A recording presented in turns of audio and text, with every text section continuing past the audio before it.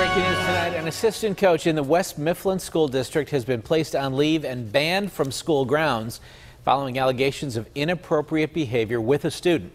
On its Facebook page, the district said it found out about the complaint today and immediately notified police. The district is not naming this assistant coach. There is no word whether criminal charges have been or may be filed.